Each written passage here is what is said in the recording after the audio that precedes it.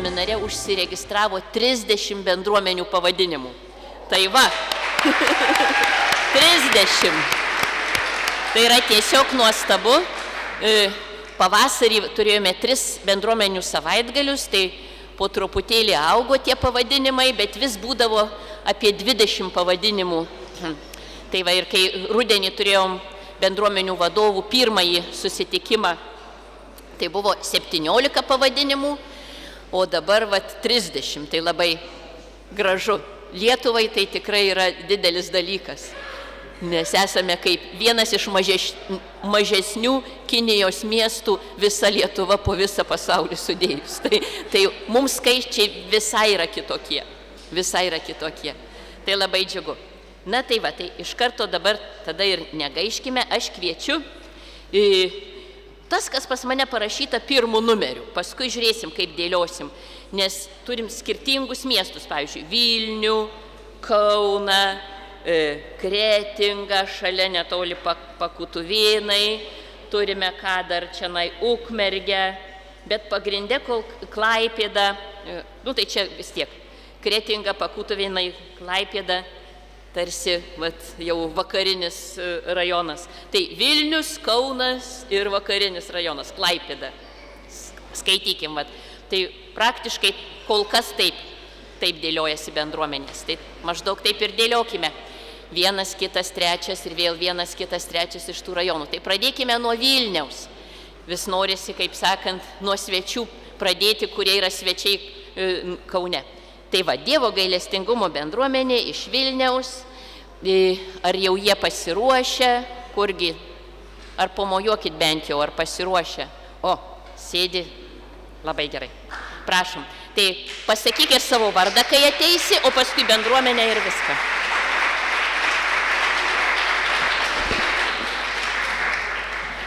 Ir va, gal tenai. Ir dar Elijau miestą. Garbėzui Kristui. Man čia labai tinka pristatyti, nes aš pats kaunietis, bet bendruomenė iš Vilniaus. jo, tai kaip? Vardu Audrius, mūsų bendruomenė vadinasi Dievo gailestingumo bendruomenė, pati bendruomenė bazuojas Vilniui. Ir gal tokies, ke, keli tokie specifiniai momentai. Bendruomenė susideda iš tokių dviejų pagrindinių dalių, tai pas mus yra pašvestojo gyvenimo seseris ir pasauliečiai pasauliečiai yra tokių, galima sakyti, trijų būvių, tai įsipareigoja asocijuoti ir bičiuliai. Tai pagal skirtingą įsitraukimą į bendruomenę. Mes jau gyvuojam neformaliai gal 8-9 metai kažkur, maždaug taip. Pašvestojo gyvenimo seseris dabar yra tokioj stadijoje, kad e, yra gavusios e, pritarimą ir dabar yra kelionė į tai, kad būtų pripažinta kaip vienuolynas, kad įsteigimas. Mes renkamės kartą per savaitę maldai ir mūsų tokia charizma, galima sakyti, yra, kad mes gyvenam Dievo gailestingumu ir tą Dievo gailestingumą išgyvenam per maldą, žodį ir veikimą. Tai mes susirenkam maldai kartą per, per savaitę ir po to pasauliečiai pasklinda po, taip galima sakyti, po pasaulį, tai yra ir poros, ir šeimos, ir, ir vieniši žmonės. Ir mes tarsi iš tos maldos pasklindami pasaulį ir vat su ta malda, su tuo, su ta ugnim gailestingumo ten, kur mes esam, ten ją ir skleidžiam. Ir skleidžiam taip, kaip Faustina savo dienoraštį mokė, malda, žodžiu ir veiksmu. Pirmiausia veiksmu, paskui e, žodžiu ir malda. Tai tokia mūsų trumpai charizma būtų. Ačiū.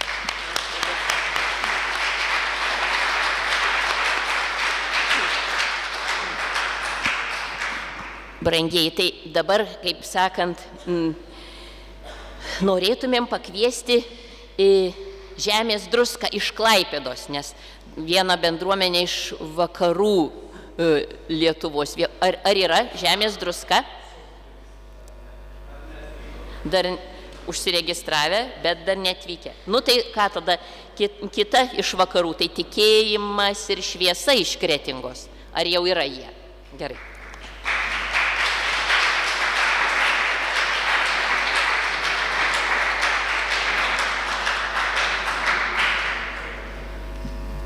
Garbėsiu Kristui, Aš esu iš Kretingos tikėjimo šviesos bendruomenės. Iš tikrųjų, mūsų bendruomenė yra visoje Lietuvoje - Vilniuje, Kaune, Marijampoliai, Šiauliuose, Kaune, Kretingoje, Klaipėdoje.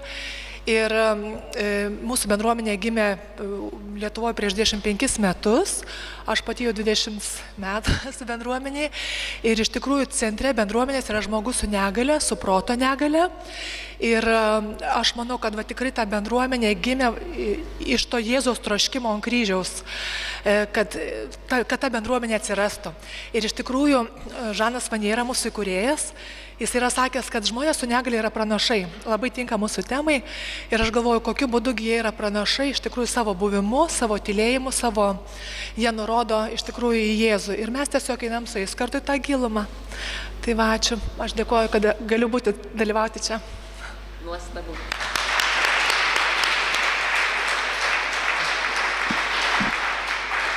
Tai dabar kvie, kviečiu vieną bendruomenę iš Kauno, kertinis akmuo. Ar turime? Puiku.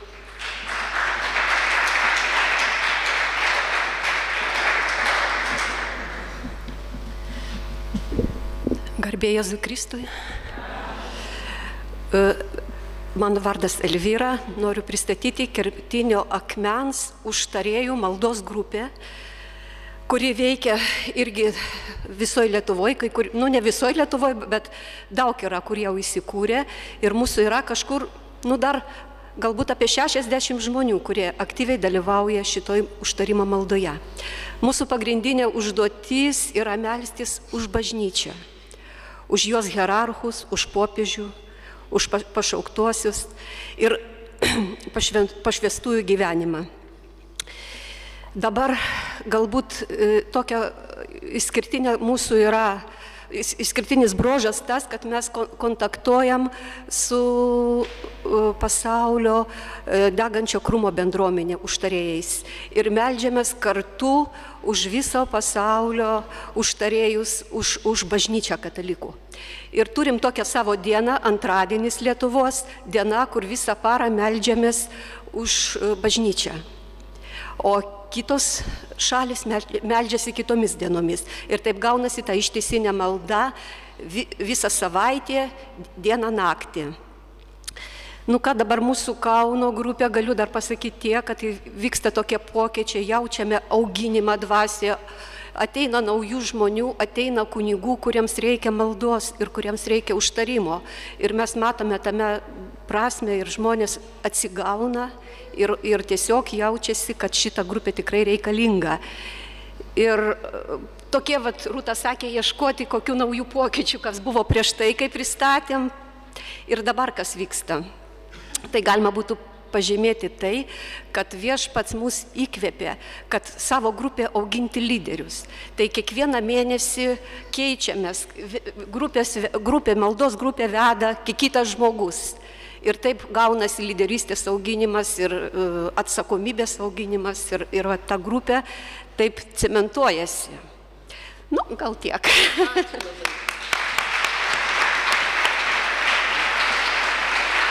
Labai dėkojame. Na tai ką, tai vėl Vilnius. Bernardinai. Esate? Puiku.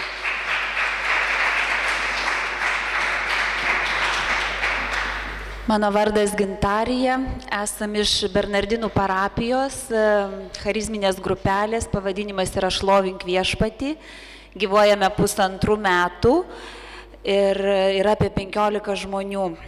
Viešpats tikrai labai veda ir uždega tarnauti šlovinimuose, šlovinam vėliavomis, prieš metus laiko atsirado ši tarnystė, užtarimo malda Ir e, dabar mes sausio mėnesį buvome iš, iš bendruomenės išvykę porą žmonių į Kijevą pas mesijaninius žydus. Savaitę laiko ten buvom retryte. Ir tikrai viešpats kviečia ir veda, tiesiog pradėjom taip brusdėti, kad šlovinti viešpatį šokiais. Dalyvavom šokių seminare, mokymuose ir, ir, ir tai įdėta į širdis taip stipriai. E, dar da, Ukrainoje taip pat svečiavomės tokioje bendruomenėje Maranata, taip pat įsijungėme į maldos skydą ir, ir dabar dalyvausim jau visu, maldose už visą pasaulį ir jo poreikius. Ir nu, dar nežinau daugiau ko. Ačiū. Ačiū.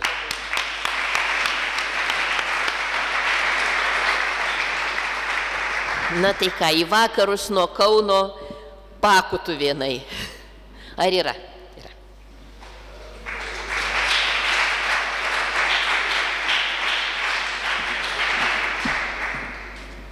Šabat šalom. E, čia pa, iš Pakotuvėnų Loreta. A, ir mūsų bendruomenė iš tikrųjų net nežinau, kaip pasakyti, visa Lietuva. Nes aš pati iš Kretingos, daug yra iš bendruomenės ir, va, ir Vilnius, ir, ir Kaunas, ir visi kiti. O iš tikrųjų labai mes esam susijęti su mesijaniniais žydais ir, ir, ir širdis dėl, dėl žydų tautos, dėl, dėl jų atsivertimo. Penktadieniais rengiam šlovinimo vakarus ir, ir malda yra už tai.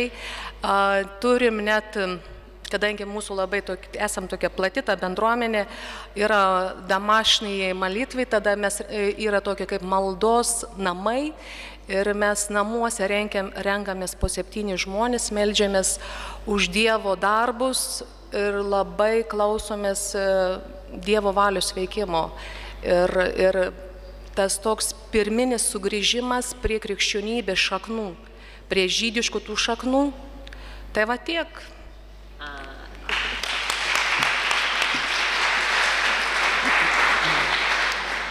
Ir vėl Kaunui eilė, tai būtų viešpaties mažutėliai, grinai Kaunas.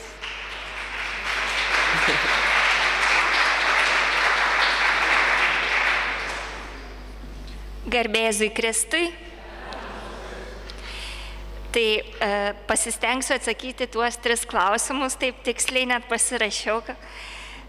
E, 2009-aisiais e, prasidėjo, buvo tokia akcija cepelinų dalinimo vargšams, e, toliau nebepasikartojo, bet iš pat pradžių mus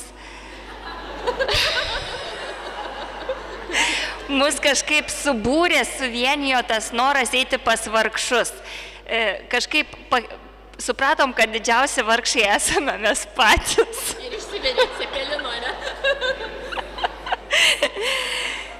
ir, ir mūsų jungia iš tikrųjų į savitarpio pagalbos grupę, va tas troškimas padėti vieni kitiems priimti Dievo meilę, užtarti vieni kitus maldoje. Ir E, dar labai mus apjungia tarnavimas Marijos mokykloje, kur yra sesijos trijų dienų kiekvieną sezoną, jau, jau beveik dešimt metų. Ir reikšmingas įvykis paskutiniu metu šiemet e, ties trim karaliais išvažiavom į trobelę, esam taip aštuoni jau tokie pastoviausi, bet aplinkui dar yra daugiau E, ir toj trobelėje apsnikta miške mes labai rimtai kalbėjomės ir meldėmės ir nusprendėm, kad reikia pakeisti mūsų susirinkimų mm, maldos formą, pa, paįvairinti, nes daug kas buvo truputėlį atsibodę ir norim aukti, norim tobulėti kažkaip. Ir, ir netrukus jau nuo kito pirmadienio prasidės tokie papildomi susirinkimai, dalis iš mūsų eina antrą lygį Marijos mokykloje, kur yra 12 žingsnių programa. Ir mes labai nuoširdžiai norim atlikti tuos namų darbus, padėdami vieni kitiems. 12 žingsnių taip iki, iki galo atlikti. Tai vat, tokie pokyčiai. Puiku.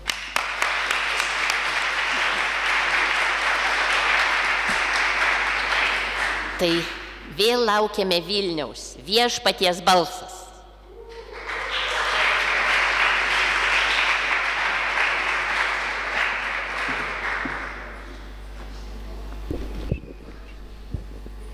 Sveiki, esu Modestas, viešpaties balso narys. Ir prašiau salės pagalbos, tai yra savo bendruomenės, kad maždaug apibūdintų, nes ką mes darom, nes esame jauna bendruomenė, iš tikrųjų ieškanti dar savo tapatybės. Tai šiuo metu save pavadintume kaip charizminė šlovinimo ir maldos bendruomenė. E, yra 16 narių. Ir vat praeitais metais buvo toks įvykis mūsų bendruomenė, kad mes tiesiog įsipareigojom, tokį pasižadėjimą pirmą kartą padarėme ir bendruomenė yra susikūrus prieš porą metų. Ir šiuo metu pagrindinė tarnystė tai Ramintojos bažnyčioje palydi kuningas Algirdas Tolijatas, šlovinom, užtarimus melžiamės, kartais išvykstame į, kita, į kitas bendruomenės, į svečius, tas pačias tarnystės daryti. Tai va, šlovė viešpačiu.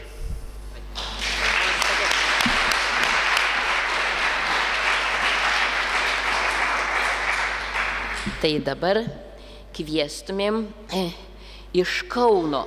Tai e, kasgi čia nai dar. Ha, Teofilį. Ai, ne, palaukite, dabargi laikas e, tai vakarų nugi, Lietuvai. Tai iš vakarų Lietuvos, taip į vakarus nuo Kauno yra Padubisio kaimo bendruomenė.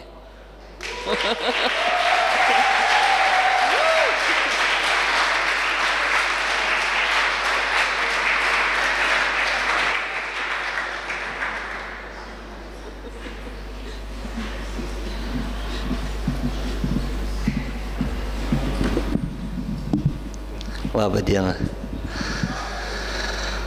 Ką sakyti? Pavad, tavo vardas, pavadinimas, kiek narių, kada įsikūrė, ką veikėt, kas naujo. Supratau. Žanas, esu narys Padubisio kaimo bendruomenės. Veikiam, gyvenam ir bandom Evangeliją. Narių skaičius šiai dienai 20-30 ir ko. Tai nežinau, gal grįšiu bus tik mano žmona ir trys vaikai, nes trys čia, o gal bus plus 30. Tai noriu pasakyti, kad esam atviri, turim geografiškai daug vietos, visus padubysius. Jeigu kam reikia, net vedam ekumeninius mokymus, pasistatyk savo bendruomenę, tai yra kaip galima ateiti lygioj vietoj į apgriausi pastatą ir pradėti ten gyventi. Pavyzdžiui, susiradus bačią, ne, šlovinti viešpati, tai nebūtinai Bruklinė, galim pas mus padubisi, galime, mokiname Prieš septynis metus pradėjau Briuselį mokymus vesti Europos skurdo mažinimo tinklę EPN. Tai kaip pasistatyti namą iš molio, nebūtinai mums europinių projektų mokam, ten yra patirtis. Tam auginam ir karves, kad maišyt molį su mėšlu labai. Tai primena tada turtingus Jeruzalės kvartalus ir negriūvančius namus. Nu, žodžiu, esam paėmę nuo Afrikos iki Azijos ir nuo Azijos iki visos vakarų civilizacijos visas kultūras apjungė į vieną, uždėję ekumenizmo karūną, taip kad prašom, jeigu norit dar galim jum tokį arterinio kraujo pagyvinimą, kad pas mus pirmus Lietuvoje buvo Jėzaus Kristaus apsireiškimas, tai yra Šiluvoj, jeigu nežinojat, ten apsireiškė Jėzus Kristus su savo motina, kuri jį laikė ant rankų prieš 400 metų. Gal kas esat girdėję. Ir jinai tada verkė labai, kad žmonės pamiršo, kad anksčiau buvo garbinamas čia jos sunus, va tas, kur ant rankų. Ten patikėkit, ne įvaikis joks buvo tikras Jėzus Kristus, nes Marija tuomet neturėjo prieigos prie raseinių vaikų internato ir turėjo jį. Žodžiu, turim matų visokių dalykų ir jeigu norit išbandyti savo jėgas, kas liečia krikščionybę, melai kviečiam.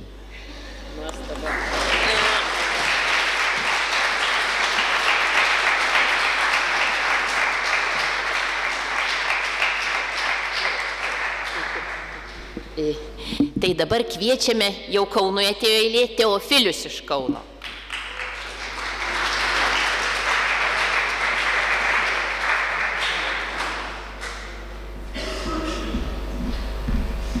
Garbėzui Kristui.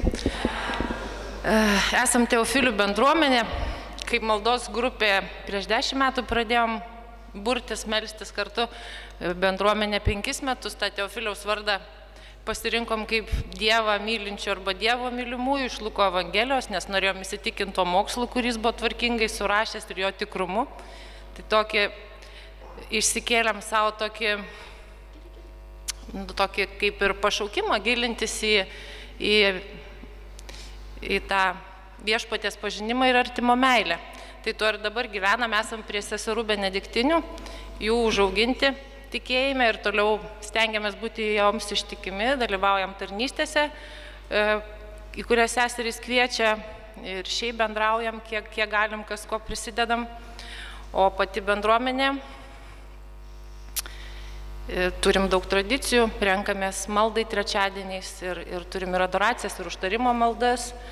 Ir, ir šiemet, vat, kaip tik įsigijom dar ir palaimintai Teofilių palaipsniui sužinojom, kad, kad seserų kapelionas buvo, tai šios metus skiriam tam Teofiliaus gyvenimo ir, ir dvasingumo pažinimui. Taip, trum, trumpai tiek. Nuostabu. Tai kągi, vėl Vilnius. Kelionė, ekumeninė bendruomenė kelionė iš Vilniaus.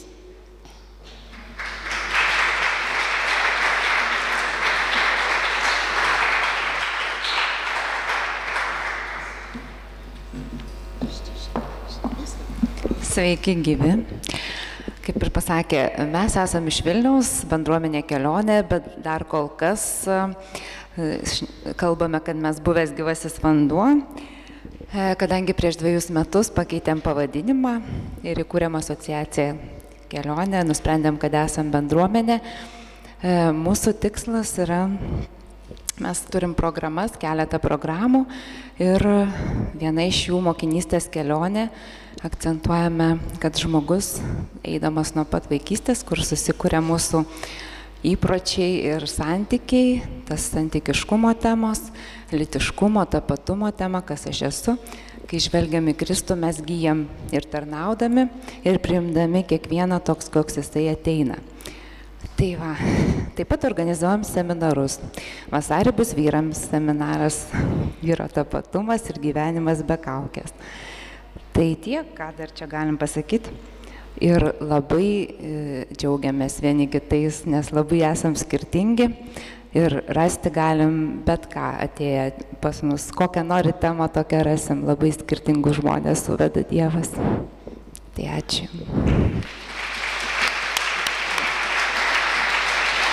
Labai dėkui. Tai ieškau, ieškau, kas dar į vakarus nuo Kauno. Ir tik tai vieną variantą e, randu. Jeigu pradėtumėm bendruomenę, e, kuri yra Kretinga, Kaunas, Vilnius, tai galėtumėm tarsi nugi pradėti nuo vakarų. Ar žinot, kas tai per bendruomenė? Taip, tai va, kviečiam naują sandorą.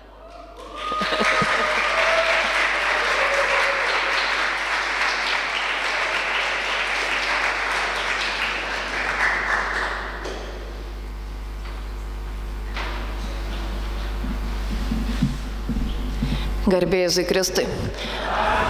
Nustebinot, ačiū. Dar šiauliai ir dar truputėlį yra klaipėdos ir kitų. Iš tai esam ta pati naujoji sandora, vis dar ten pat kaip ir žinot šituose miestuose, vis dar 20 metų, šiais metais jau prasidėjo 21, mūsų kol kas išlikęs, išlikusi ta misija būti pranašišku vilties ženklu kitiems, dabar žiūrim galbūt per džiaugsmo prizmę tuo ženklu būti. O kuo gyvename, tai popiežius vienoje homilijoje sakė, leiskime Dievui kiekvieną dieną mus nustebinti. Tai mes šiandien irgi nustebinsim vieni kitus. Labai suprantu, ką Žanas kalbėjo. Tai vakare galbūt liksiu aš viena ir dar tokie penki žmonės, kurie turėjo neapdairumo įsipareigoti dviem arba trims metams praeitais metais. O galbūt mūsų bus apie 30, nes šiandien yra mūsų 21 įsipareigojimai ir dar 26 vaikai prie to pačio. Tai.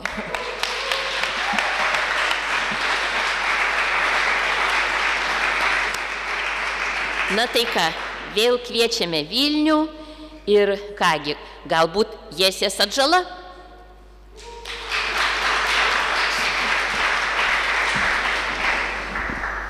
Garbėjai Kristai. Tai mes esame iš švenčiausios mergelės Marijos parapijos, kad taip vadinama Žvirino bažnyčios. Kovo 9 dieną mums sueina keturi metai. E, turime oficialius 20, oficialių 20 narių ir 10 draugų. Renkamės kartą į savaitę, ketvirtadieniais ir mūsų susitikimai prasideda nuo švenčiausio sakramento adoracijos visą dieną Paprastai turim po valandą kiekvienas, baigiam šlovinimu ir paskui vyksta mūsų grupelės bendruomenės ugdymasis ir dalinimasis. Tai mūsų, gal skirsiu tokias kelias pagrindinės tarnystės. Tai pirmoji tarnystė yra mūsų parapijoje. Um, uh, tarnaujame vidinio išgydymo pamaldose, tai užtarimas, dengiamoji, šlovinimas instrumentais, vėliavomis, ir e, katechetėmis tiek suaugusiems, e, tiek e, tikinčiųjų vaikams. Ir antroji tarnystė, mes ją pavadinome motinos įšių tarnystę. Dažnai iš tikrųjų tenka važiuoti į misijas ir prisidėti prie naujai besikūrenčių grupelių ar bendruomenių pačios pradžios kūrimosi. Tai labai norėčiau pasidžiaugti praėjusį mėnesį turėtą misiją Palangoje, e, po kurios iš tikrųjų pradėjo vykti tikrai labai nuostabus atsinaujinimo e, įvykiai jų bendruomenėje. Šlovė viešpačiai.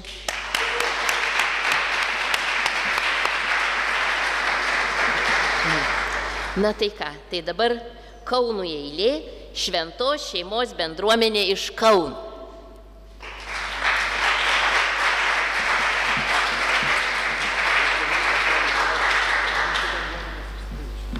Gerai. Primenu, kad kiek, kada įsikūrė ir kiek žmonių.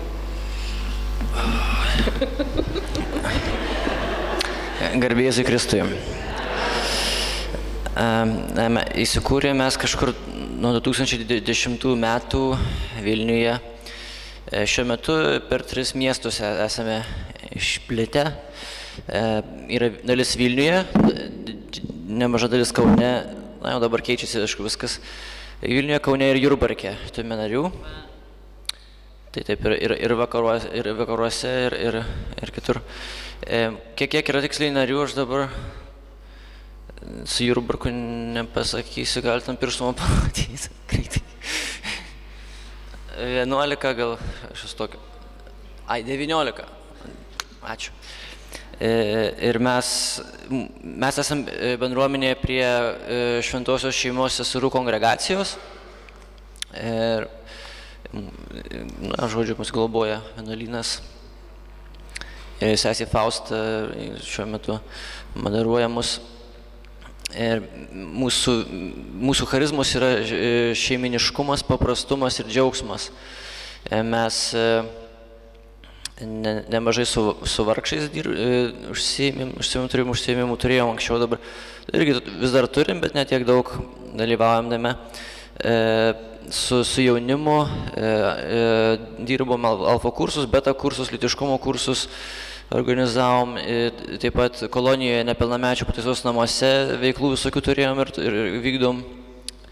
E, na, pas mus iš pradžių buvo tokia jaunimo bendruomenė, dabar tokia jau darosi šeimų, pusiau jaunimo, pusiau šeimų, atsirado šeimų, visi suaugo jau ir taip toliau ir keičiasi ir, ir šiuo metu mes e, tokiu, tokiam e, palaimingam, maloningam kriziniam laikotarpį e, ieškojimo šiek tiek esam ir, ir labai džiaugiamės.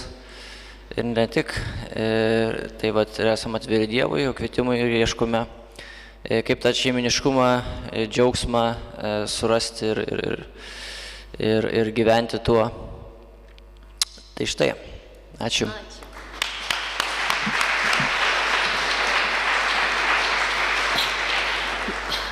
Tai turime visą eilę bendruomenių, kaip matot, kurios išplitę po visą Lietuvą. Tai ne, ne, ne tik tai kuriam tai mieste. Tai Vieni iš tokių yra ir Lietuvos užtarėjai. Užsirašė, kad Kaunas Vilnius, bet turbūt ir daugiau miestų yra. Ar yra Lietuvos užtarėjai? Rami? Yra.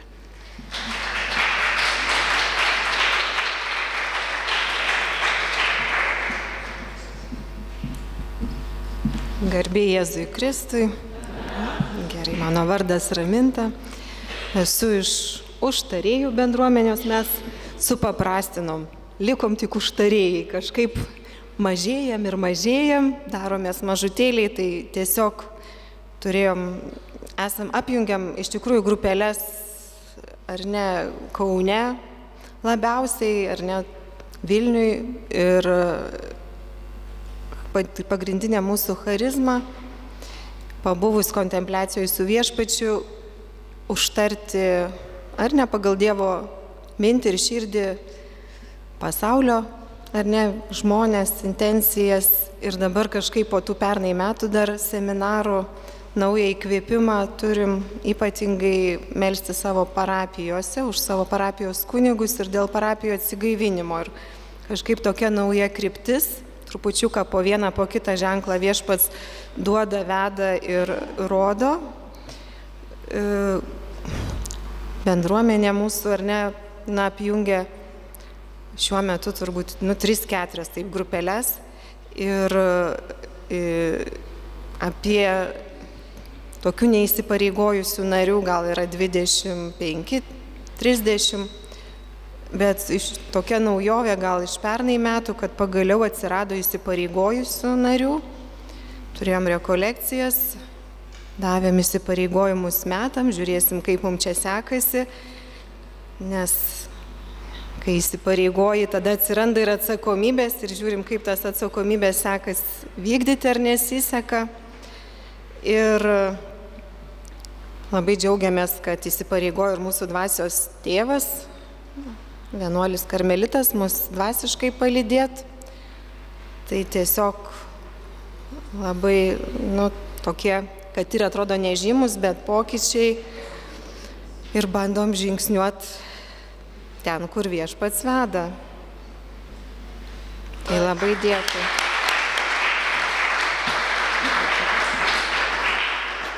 Ar galima pakviesti gailestingumo versmę?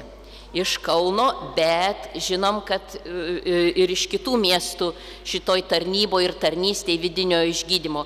Ir beje, anksčiau buvo trys pagrindinės bendruomenės e, iš Lietuvos, tai gyvėjai akmenys, naujoji sandora ir gailestingumo versmė, kur suko pirmąjį etapą bendruomenio tinklo, kuris netapo oficialus.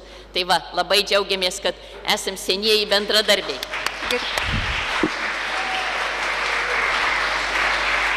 Garbėsiu Kristui. Iš tikrųjų tai labai gera čia būti ir gaila, kad nebuvom pernai, negalėjom dalyvauti, bet viskam ateina metas ir mūsų bendruomenė įsikūrė iš Dievo malonės prieš septynerius metus, bet šiaip esam kilę iš Kataliko evangelizacijos centro Selovados projekto ir jau turbūt tarnaujam nuo 2000 metų, tai vidinio išgydymo pamaldos, e, silovadinės programos, gyvo vandens pradžioje, prieš srovę, kažkada buvo pradžioje, dabar prieš srovę ir um, taip pat organizuojam vidinio išgydymo rekolekcijas, seminarus, um, tarnaujam įvairiuose renginiuose užtarimo malda. Tai tiek, tiek žmonių. Mūsų šiaip yra apie 50 įsipareigojusių, aktyvių kokie 30, apie 40, bet yra, kurie atsitraukia, augina vaikus, serga ar dar, bet turim užtarėjų užnugarį. Tai taip pat mm, turim dvasios vadovą, tarybą ir kiekvieną dieną matom jo gailestingumą ir mūsų tikslas ir patys susitikę jo gailestingumą, jo gelbstinčią, gydančią meilę, trokštame perduoti tai kitiems. Tai aleliuja. Tiek. Ačiū.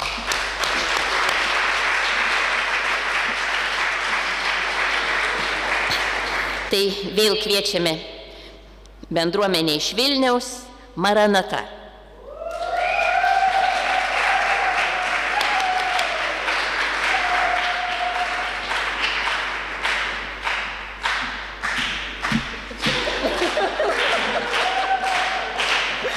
Garbėjai Kristai. Mano vardas Austėja, esu iš jaunos katalikų charizminės bendruomenės Maranata Taip jau atsitiko, kad viešpats mums padovanojo apokaliptinį pavadinimą, mes kviečiame Jėzų sugrįžti savo pavadinimu. Ir iš tiesų pasišvenčiame šventai dvasiai kiekvieną dieną, melsdami ištikimybės viešpačiai. Na ir įsivardinom savo bendruomenę kaip tokią, kaip lėktuvnešį. Tai yra ne parapijinė bendruomenė, kuri labiau nukreipta į misijas. Tai mes pakylam nuo, nuo to bendruomeninio lėktuvnešio į tam tikras misijas, o misijos yra susijusios su šventosios dvasios išliejimu bažnyčiai, kaip dovana. Um, tai šiuo metu pradedam naują misiją besikūrenčioje Jono Pauliaus antrojo parapijoje Vilniuje. Prašom visų užtarti, ypatingai už, užtarimo malonę turinčių e, bendruomenių. Ir ką dar reikėjo pasakyti? Viskas turbūt. Ne? Ai, e, pernai, kai čia stovėjau, sakiau, kad 40 Facebook'e, tai šiemet įsipareigojusių yra 14, ko labai džiaugiamės. Ir iš tiesų viešpat šiuo metu mus veda kreipti savo žvilgsnius atgal kaip bendruomenį ir kaip kiekvienam asmeniškai nariui į jį, statant Jėzų į centrą. Ir tai neša labai labai didelį džiaugsmą. Maranata.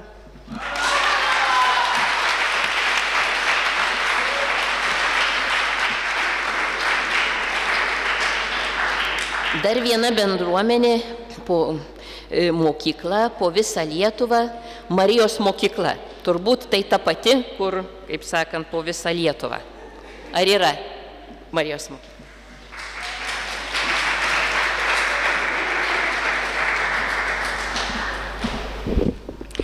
Gerbėjai Zukristui.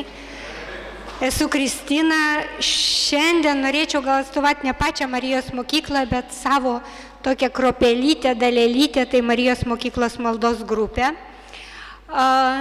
kuri ir e, kilo iš Marijos mokyklos.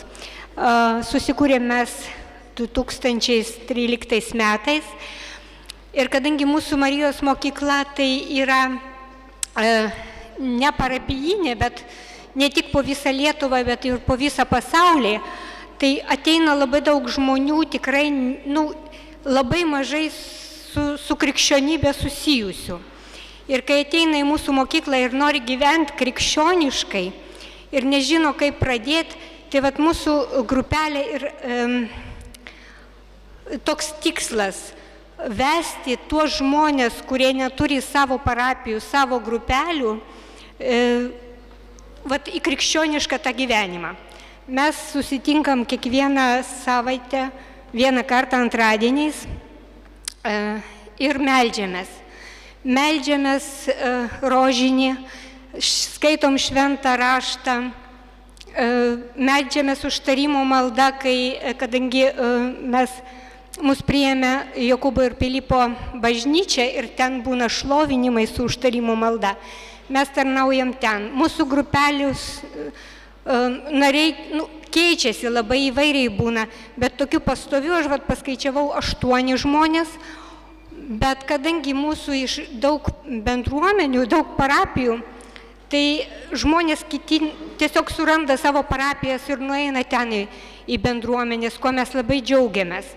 Taip labai daug žmonių praėjo pro mūsų grupelę, atradę savo bendruomenės, Tai vad mūsų ir tikslas, kad žmonės surastų savo parapiją, surastų savo bendruomenės ir vesti žmonės link krikščioniško gyvenimo. Ačiū.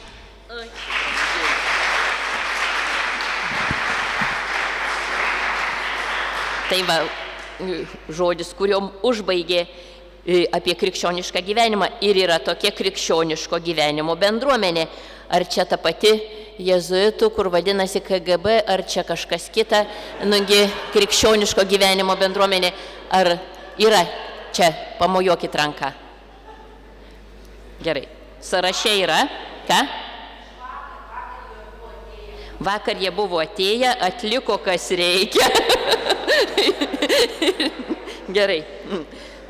Tai kągi, tada toliau. Šviesa iš aukštybių, iš Vilniaus.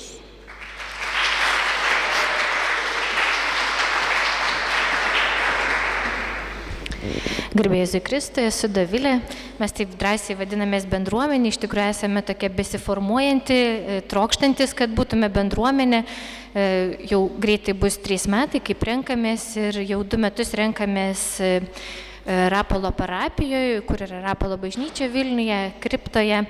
Tarnaujame taip pat per šlovinimo vakarus, organizuojam ir mūsų irgi branduolį e, sudaro Marijos mokyklos tarnautojai ir dalyviai, tai, tai esam ir prie Marijos mokyklos, prie brolių kapucinų, tame augame.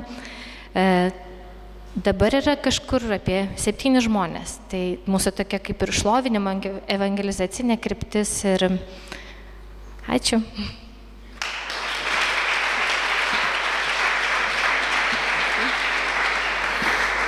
Dabar vėl iš Kauno, totus tūs. Yra vaikas?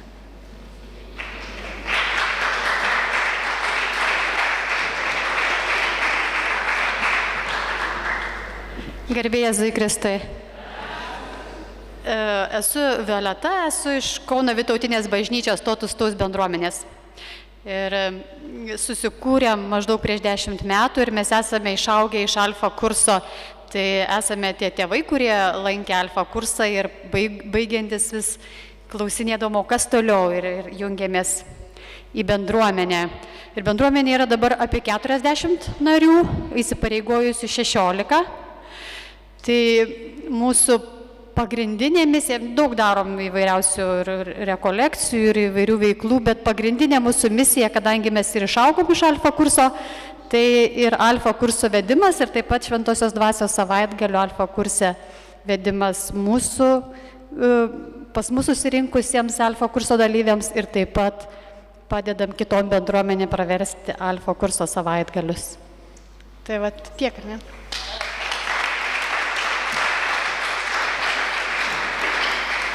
Tai kągi dar turime. Vėl norėtųsi kažką iš Vilniaus pa, pakalbinti, bet jau tarsi nesimato iš Vilniaus, bet matome vieną bendruomenę besiformuojančią, apimančią visą Lietuvą, jaunimo misiją Lietuvoje, Šemenef. Ar tinka, kad dabar jie?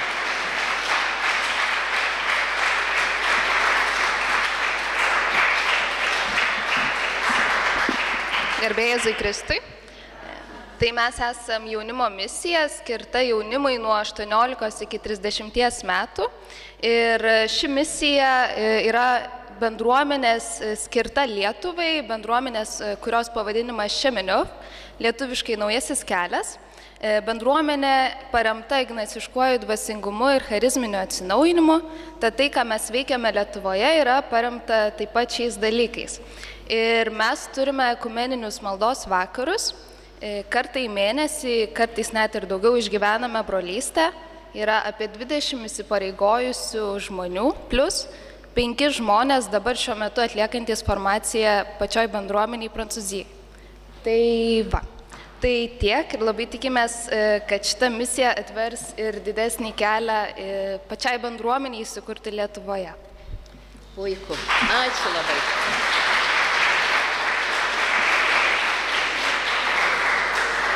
Kviečiame dabar Jono Pauliaus antrojo bendruomenę iš Kauno.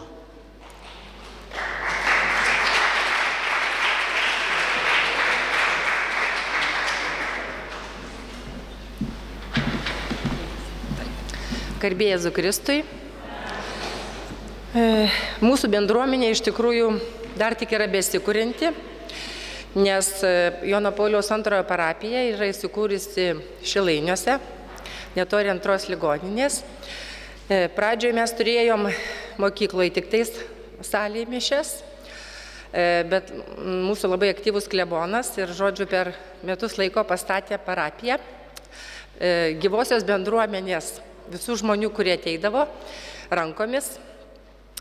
Ir mūsų bendruomenė dabar yra ieškanti, atvira, besikūrenti, bet labai aktyvi.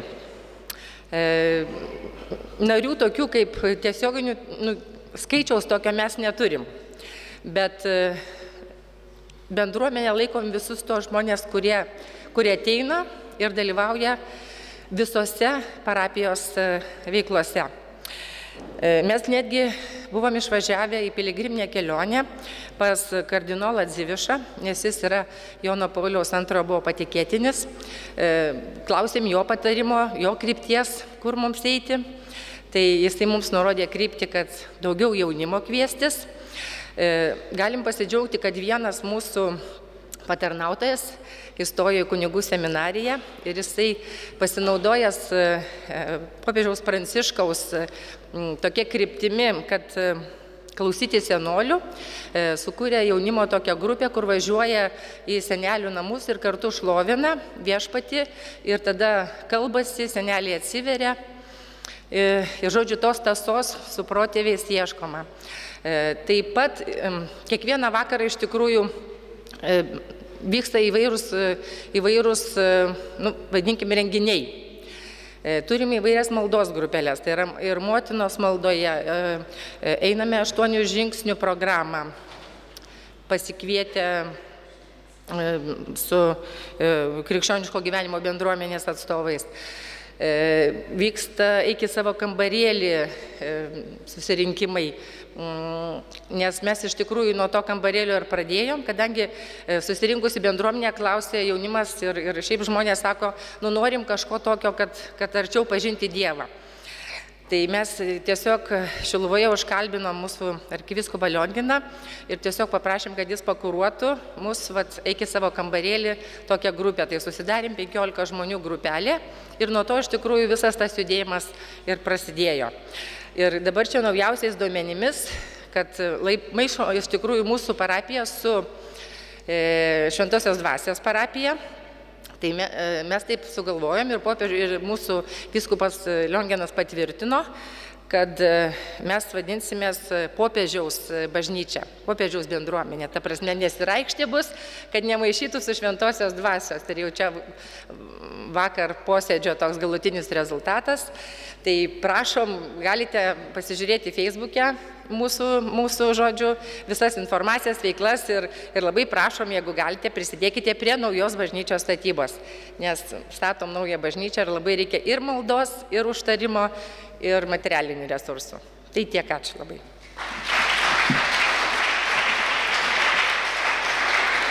Na va, pavadinimai dar koreguojasi. Tai ką, čia buvo Jono Pauliaus antrojo parapijos bendruomenė, bet yra dar Jono Pauliaus antrojo piligrimų centras. Kaip čia nesusimaišyti?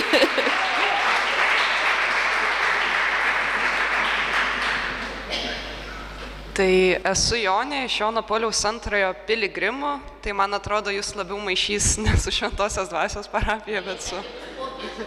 Ai, gerai. Tai mus dažnai vat, vadina piligrimų centro bendruomenė, tai turbūt kaip pavadinsi, taip nepagadinsi. Tai mūsų pagrindinė misija yra atvesti jaunimą į bažnyčią. Tai mes e, stengiamės būti tokiu koridoriu, kuriuo gali jaunimas ateiti į bažnyčią. Tai esame iš tokio piligrimų centro ir, ir mūsų tarnystės yra tokios, organizuojam piligriminės keliones, atsiliepiam į bažnyčios kvietimą tarnauti ir organizuojam pamaldas. Tai du kartus į savaitę piligrimų centre, tai jei kas norėtumėt. Ir mes tokie esam gal visai necharizmatiški, mes dažnai įvardinam, kad mes tokios taize dvasios. Ir labai jokingai pasakė viena mergina dabar kelionėje, kai vykom, sako, visur, kur einu, atrodo tokia taize dvasia, taize dvasia. Ir sako, supratau, kad čia turbūt ne taize dvasia, bet šventoji dvasia. Tai mes nusprendėm nustoti vartoti tą terminą taize dvasia, bet tai vad. Ir Artėja mūsų toks įsipareigojimas, mūsų yra 30 narių įsipareigojusių ir dar 20 vat svarsto, tai uh, gal toks dalykas, kurio taip norėčiau pasidžiaugti, tokia mūsų charizma, gal tai yra tokie žodžiai mūsų įsipareigojame, kad pasaulį labiau keičia ne dideli darbai, bet nuoširdus kasdienis buvimas. Tai vat mūsų bendruomenė taip ir stengiasi būti. Tai ačiū.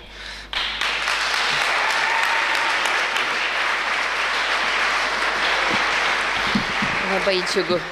Na tai ką, tai dar turime gyjančios širdis sielovados grupė tarnyba iš Kauno.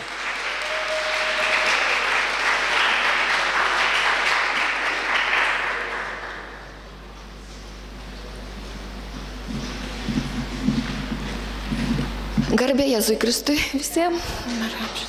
Taigi mūsų grupės pavadinimas yra gyjančios širdis ir dėkojom šitiems susitikimams už šitą pavadinimą, nes tai buvo vienos charizminės maldos dovana mums, nes mes iki tol neturėjom pavadinimo. Mūsų misija yra Dievo šviesoje palydėti žmonės, kurie patiria skirybų skausmą ar skirybų pasiekmes. Veikla vykdoma jau 16 metų. Kiek mūsų yra ir daug ir mažai. Yra penki pagrindiniai nariai, tai ten yra Greta, Sigitas, Ingrida, kunigas Aldonas ir aš, Šviesa. Taip pat kas dvi savaitės susitinkame su 20 žmonių. Jeigu žiūrėt virtualioje erdvėje, mūsų yra daugiau negu 70, kurie dalis jų meldžiasi už tuos, kurie eina susitikimus. Tai tokia misija lygi raiški. Jeigu jūsų pažįstamų rate yra žmonės, kurie patiria šitą skausmą, kviečiam, atsiųskit mums. Ačiū.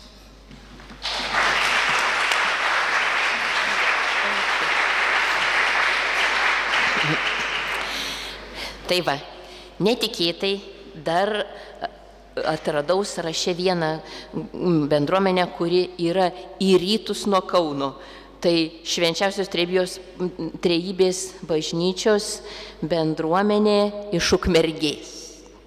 Tai, ta prasme, rytų, šiaurės rytai.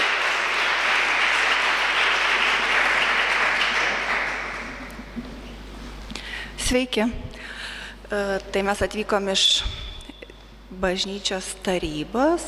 Tiesiog norim mokytis ir aukti, todėl čia ir atvykom, bet ne, neįvardintume savęs galbūt dar bendruomenę, darom įvairias veiklas parapijoje, esame atviri Dievo vedimui ir tikimės, kad e, gal kitais metais pas, labiau pristatysim save kaip bendruomenė. Dabar tiesiog atvykom mokytis. Labai džiaugiamės, kad galim čia būti. Ačiū visiems.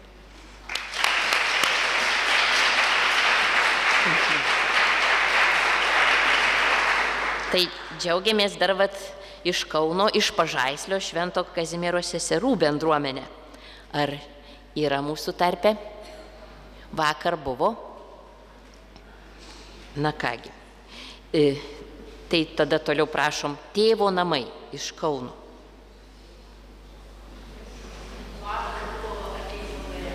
Taip, vakare ateis. Na tai ką, turėjom Dievo gailestingumo bendruomenę iš Vilniaus, o dabar Dievo gailestingumo sąjūdis iš Kauno. Čia Lietuva, čia pavadinimai, kaip sakant, panašus. Vakar buvo. Labai gerai. Vakar buvo. O žemės druska rytoj bus turbūt iš Klaipėdos. Dar nėra žemės druskos. Susirgo. Tai gerai. Tai tada. E, katedros maldos grupė iš Kauno. Irgi vakar buvo, tikrai mačiau.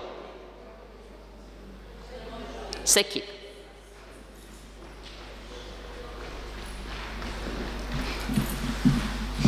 Iš tikrųjų, tai norėjau dar apie žemės druską pakalbėti, nu, pristatyti, nes jie parašė laišką, kad labai nori jungtis į mūsų šitą tarybą, bendruomenių tinklą, taip ir bet visus metus labai daug metų atgal visą laiką buvo kartu. Klai, iš Klaipėdos jie yra. Tai va, tiesiog atsiliepia į tokį paraginimą su dideliu džiaugsmu, tiesiog šį kartą labai daug sergančių ir niekaip nepavyko jiems ištrūkti. Tai va toks džiaugsmas, kad sugrįžo ir žemės druska bus kuo pasūdyti. Na tai ką, šiandien mūsų sąraše buvo 31 bendruomenė, iš kurių šeši sirgo arba buvo vakar. tai, tai, ir šiandien šią minutę mūsų tarpe nėra. Tai liko dar gyvėjai akmenys. Tai va, kviečiu.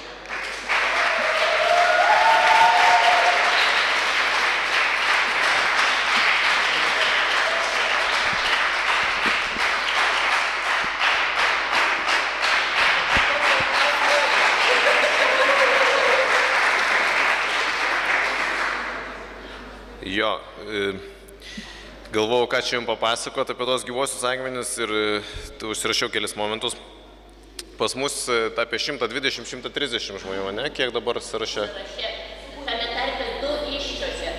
Jo, tai čia reikia, žiūrėkit, kaip didint sąrašo ilgį, ne? Pamatot, nieščias, bum, vieną prirašo, žinai. Nu, arba du, priklausomai, arba tris. E, o apie 30 ar 30 įsipareigojusių yra, bet va, turėsim už poros mėnesių rekolekcijas su įsipareigojimais, tai gal padidinsim įsipareigojusių kiekį. Mums yra be 3 savaičių 27 metai oficialiai kaip bendruomeniai, bet bendruomenė prasidėjo dar kokiais šešiais metais anksčiau ištokos. E, ką mes veikiam? Tai šlovinam Dievą ir liudijam jo darbus, vaikūrėm naują šlovinimo grupę Šeši vyrai ir Ignė, jei galėjot e, matyti ją.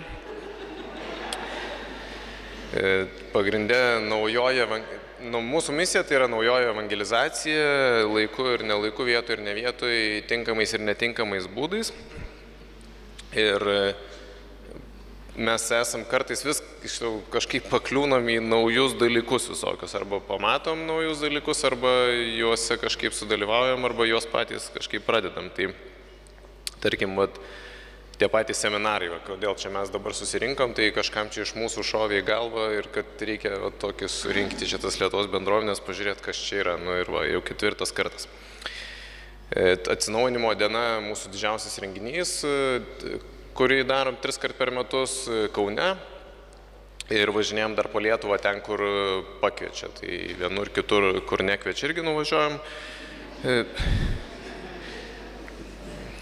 E, e, tai va, ir tas, vat, pernai jau sugalvojom, kad reikia pradėti judinti tą dalyką Lietuvos bendruomenių tinklo, nes mes Tam, kad pamatytume, ką Dievas veikia truputį didesnių paveikslėlių negu ta mūsų maža upelė, kuriame mes tekam, tai turim daug visokių ryšių ir su tarptautiniam ar bendruomenėm, ar tinklais, organizacijom, tai tas pats INC, Europos bendruomenių tinklas, dabar ten naujas Haris, kuriame rūta bus e, viena iš e, tarybos e, žmonių su onumom, nes Vyro organizacijos dalis daugumam pas mūsų moteris turbūt sąraše, bet kažkaip atvyrai priemė e, su tais pačiais TJCT, su mesiniais žydais, visokių ryšių turim.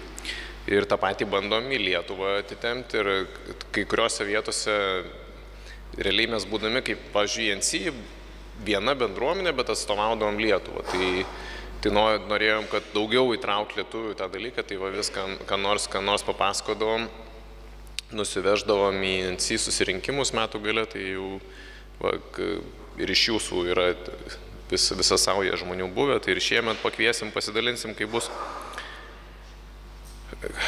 O šiaip tai ką, nustatom, statom mintise, statom e, misijų tokį centrą, rekolekcijų sodybą plėsim savo.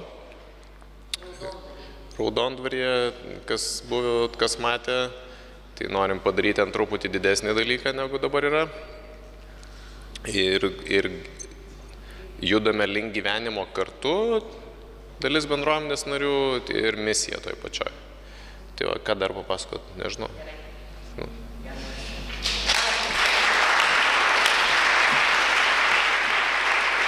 Na tai va. Tai koks gėris, kaip yra džiugu, Visi esame Dievo darbas ir šitas vat, Lietuvos bendruomenių tinklas, kuris lapkričio pradžioje susirinko 17 bendruomenių vadovai, surašym, kaip mes matome vat, tikslus, vertybės, struktūrą to tinklo, tarsi jau toksai realus e, žingsnelis, nes tikrai reikia, kad tinklas būtų, nes mums negana kiekvienam savęs ir net kiekvienai bendruomeniai negana jos pačios. Mums reikia vieniem kitų, kad Dievas galėtų, kad labiau pažintumėm Dievą ir labiau būtumėm Dievo gyvenimo dalimi, labiau auktumėm ir Dievas galėtų daugiau nuveikti. O tam reikia, kad mūsų širdis plėstusi, akiratis plėstusi, kad arba ne, negalvotumėm, kad esame ohoho, per daug reikšmingi ir kas čia mes tokie esame, viską išmanom ir žinom ir va kaip stebuklingai Dievas veikia. Arba negalvotumėm, kad esam tokie vargšiukai, visai nieko ne, nesugebam, negalim, ne, ne, nepagėm, tai vat, ir nereikšmingi. Vat iš šitų dviejų ekstremų, kad e, mestumėm ir vieną, ir kitą, o būdami kartu e, labiau būtumėm Dievo gyvenimo ir Dievo darbų dalimi ir kartu padėtumėm vieni kitiem būti toje dovanoje, tame pašaukime, kurį gavę esame autentiškai iš Dievo. Ne kad pasidarytumėm, e, kaip sakant, vienodi, visos bendruomenės daugmaž vienodos, bet kad būtent būtumėm unikalius, taip kaip Dievas mus pašaukė, su ta dovana, su tuo charakteriu, su tuo ypatingumu. Tai va, tai ir palaikytumėm kiekvienas vienas kitą tame originalume ir ypatingume. Tai, vat, tai toks yra troškimas, kad taip būtų. Ir dabar štai pagal mūsų šeštadienio programą bendruomenių prisistatymas taškas įvyko. Dabar bus dalymasis patirtim iki pietų, turime 50 minučių, kas yra labai nuostabu. Ir mes kvieštumėm, nugi, pavyzdžiui, po keturis iš skirtingų bendruomenių susėsti ir pasidalinti vat, tą patirtim e, apie Dievo klausimą ir dvasios dovanas, kaip tai veikia mūsų tarpe, kas yra mums sava, kas yra dar nesuprantama, kaip, ko trokštam, kaip norime judėti. Tiesiog vat, patirties dalymasis iš bendruomeninio gyvenimo ir misijos. O dar irgi iš karto pasakau, kad po pietų visiems yra gražus laikas e, poilsio miegui arba poilsio pasivaikščiojimui ar mm, kažkokiem tai poilsio susitikimam, jeigu norite. Bet iš karto po pietų e, bus tų bendruomenių vadovų e, susitikimas, kurie jau dalyvavo pavasario seminaruose ir rudens seminare. Ta prasme, tie, kurie šiandien pirmą kartą, nors ir yra vadovai, mes jūs kviesime kitą kartą, nes mes tarsi norim tęsti tai, ką jau darėme. Tai po, po du vadovus e, iš kiekvienos, vat, kiekvieno pavadinimo bendruomenės, kurie dalyvavo pavasarį tris kartus ir, nugi, ir rudenį lapkričio mėnesį. Ramūnė rodo daugiau pirštų, vienas, du. Yra, kaip sakant, taip, tai čia yra vadovų susitikimas. Kodėl yra svarbu, kad būtų vadovai? Todėl, kad ir, ir tartusi kartu. Čia jau yra iš patirties. Ten, pavyzdžiui, mes priklausome Europos bendruomenių tarybai, tai žiūrėdami va į kitas bendruomenės ir va jau mes ten daugiau negu dešimt metų esame, tos bendruomenės, kurios atsto, atsiųsdavo kokį nors atstovą, vadovas užimtas, ką nors atsiunčia, nueik pažiūrėk, kas ten vyksta. Ir nelikdavo tų bendruomenių, bet ten, kur atvažiuodavo vadovai, kur atvažiuodavo pagrindiniai žmonės į susitikimus ir pamatydavo tą Dievo darbą, patirdavo, užsimegsdavo ryšiai, tai nugi, jie išlikdavo ir tikrai Dievas juda labai stipriai tada. Tai verta vadovam, kaip sudėlioti savo prioritetus, branduolių tarybų žmonėms sudėlioti savo prioritetus ir šį, vat, šiuos susitikimus, bendruomenių susitikimus, vadovų susitikimus padaryti tokiu prioritetiniu. Nes mes norime būti Dievo darbo dalimi vis labiau ir labiau. Ir tam reikia bendrauti, susitikti, susidraugauti, pažinti vieni kitus, melstis vieni kit, už kitus, palaikyti. Tai užtat raginam vadovus, kurie ir taip yra labai užimti. Tai va, tai norime, kad tai būtų nedažnai, bet pastoviai ir kad nu, tikrai prisiderint prie, prie, prie vadovų ir, ir tarybų. Na tai va, tai tada būkim geri, tiem vadovam reiskim pavalgyti pirmiem. Tai tas, kas eis į vadovų tarybos posėdį, turi teisę eiti valgyti be eilės. Sakykit man posėdis. Ir tada kiti turi užleisti. Sutarkim taip, nes iškart pavalgom ir iškart ateinam į šitą salę, va šitoj salėje, nugi posėdis. Ar suprantama, nieko nepamiršau, ką reikia. Tai gerai, tai dabar dalymosi laikas.